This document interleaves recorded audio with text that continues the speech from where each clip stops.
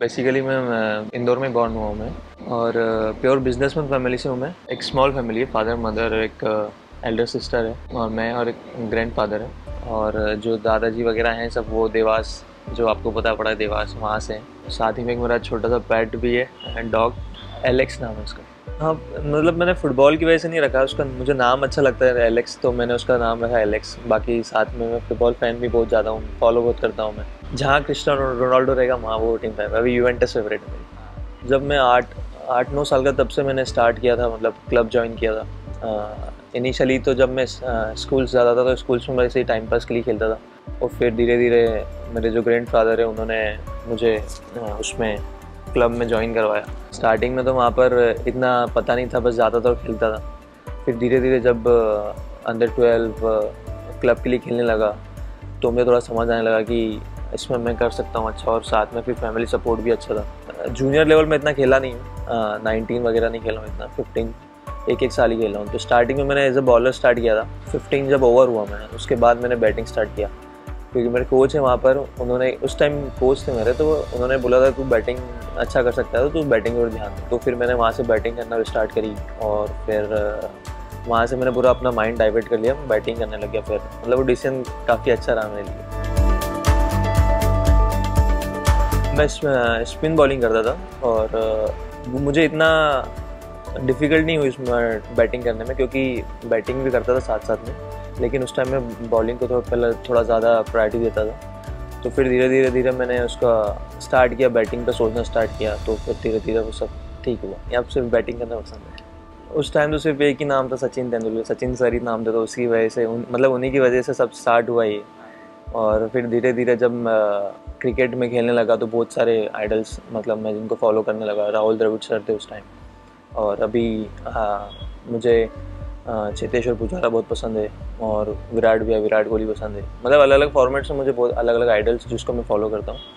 तो बहुत से, बहुत सारे लोग हैं ऐसे। मेरा जो सर्जरी हुआ था, वो मेरे फुटबॉल से ही हुआ था। मेरे को फुटबॉल खेलना बहुत पसंद है, अभी भी पसंद है। तो फुटबॉल में मेरा ए सी एल टीयर हुआ था तो फिर वहाँ से मैंने ए सी एल रिकन्स्ट्रक्ट कराया था, मुंबई से तो मतलब बॉलिंग का इतना उसका इफ़ेक्ट नहीं हुआ था उस पर कि मुझे बॉलिंग नहीं कर पाऊँगा। लेकिन मैंने बैटिंग ही फिर मैंने स्टार्ट करी तो फिर इतना वो नी की वजह से मैंने इतना चेंज नहीं किया। फैमिली से बहुत अच्छा सपोर्ट था मेरा तो उन्होंने कभी मुझे फोर्स नहीं किया ज्वाइन करने के लिए।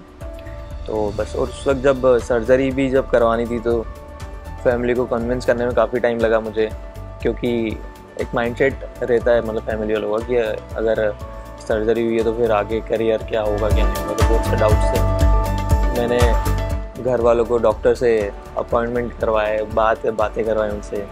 तो फिर जाके थोड़ा कन्विंस हुए और फिर मैंने फिर सर्जरी करवाई। जब स्टार्टिंग में जब क्लब ज्वाइन किया था, तब वहाँ पर सचिन धोलपुरे करके भैया हैं, वो अभी भी हैं वहाँ पर उन्होंने मुझे मतलब ग्रूम किया अंडर फिफ्टीन जब तक मैं क्लब में था वहाँ पर। फिर नाइनटीन में जब मैं स्टेट टीम में आया तो स्टेट टीम में उस टाइम अमय सर थे, अमय खुरासिया। उनके अंडर जब मैंने काम करने लग स्टार्ट किया तो उन्होंने मतलब पूरे बैटिंग को टेक्निक को लेके मेंटल एस्पेक्ट्स को लेके काफ़ी बातें करी और पूरी बैटिंग उन्होंने चेंज करवाई मेरी। और वो काफ़ी अच्छा रहा मेरे लिए।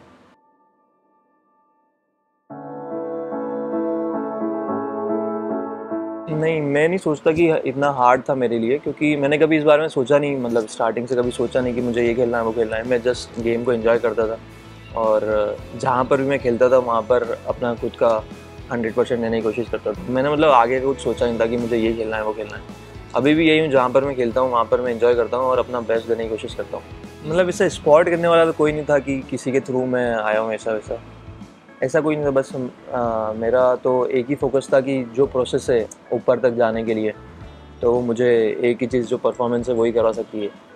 तो मुझे नहीं लगता किसी ने कोई स्पॉट ऐसा कुछ था।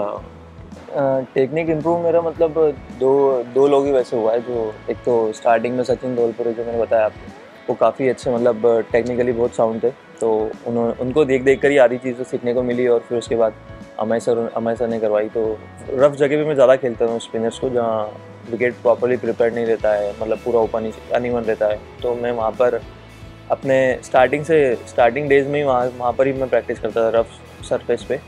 तो वो मुझे काफ़ी हेल्प हेल्पफुल रहा है स्पिनर्स को आर सी तो मेरी पहले से फेवरेट टीम रही है, और फेवरेट टीम भी विराट भी और ए बी डी की वैसे ही हुई है तो और लकीली उसमें मुझे चांस मिला खेलने के लिए तो काफ़ी अच्छा लगा था उस वक्त। नर्वस थोड़ा बहुत नर्वस था कि पहली बार मैं उनसे मिलूँगा ये वो, लेकिन फिर यहाँ आने के बाद मुझे काफ़ी अच्छा लगा मतलब यहाँ पर पूरा सपोर्ट सपोर्टिंग स्टाफ वगैरह बहुत ही अच्छा है। मैंने मतलब इतना सोचा नहीं था कि इतना अच्छा इन्वामेंट मिलेगा, लेकिन यहाँ पर आके बहुत अच्छा लगा। मतलब इतना, ऐसी कोई स्टोरीज नहीं है मतलब नॉर्मली जब भी हम मिलते हैं मतलब साइमन सर के साथ बांगर सर के साथ और माइक हसन तो उनके साथ मिलते हैं तो मतलब ऐसे ही काफ़ी उन्होंने मोटिवेट किया बैक किया और जब भी ग्राउंड पे वगैरह तो हम काफ़ी ऐसी बातें करते रहते हैं जो मुझे हेल्पफुल हो सकती है अपनी लाइफ में तो क्रिकेट की क्रिकेटिंग लाइफ में। तो यही सब चीज़ें हैं क्रिकेट की चीज़ें, बाकी ऐसी कोई स्टोरीज नहीं है। वहाँ पर हम सिर्फ़ किस तरह उस सिचुएशन से हमको बाहर निकलना है और किसको, उसको ओवरकम करना है, उस बारे में बात करते हैं। तो एक ही चीज़ हमने ज़्यादा बात करी थी कैलकुलेटिव होके कैसे खेल सकते हैं और उस प्रेशर में हम अगर हमारा कैलकुलेशन सही रहेगा तो हम इजीली उसको ओवरकम कर सकते हैं। तो इसी बारे कैलकुलेशन के बारे में बात हो रही थी बस। ऑफ़ कोर्स सबका एक एक ही होता है इंडिया के लिए रिप्रेजेंट करना है तो वही है मेरा ड्रीम ड्रीम और सबसे मेरा मतलब मेन जो है वो टेस्ट मैच खेलना इंडिया के लिए तो मुझे काफ़ी पसंद है टेस्ट मैच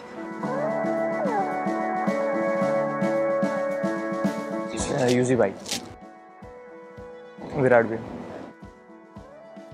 दो बार मैंने देखा है बी सर लेट आए बार। तीनों कोचेस पर्सनल गोल यही है कि मैं जब आर सी को जितना कंट्रीब्यूट कर सकता हूँ विनिंग में, उतना अच्छा।